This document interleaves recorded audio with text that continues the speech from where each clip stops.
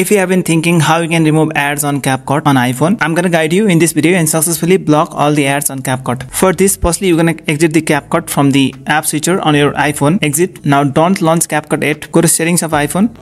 Inside the settings space, tap on Wi-Fi and you're gonna find the Wi-Fi that you're currently connected to right now. And tap on the I button for that Wi-Fi that is info button. Scroll down on the Wi-Fi settings space, tap on configure DNS inside the DNS. Currently the DNS has been set as automatic, tap on manual. Delete the already existing DNS server from here, this one, delete.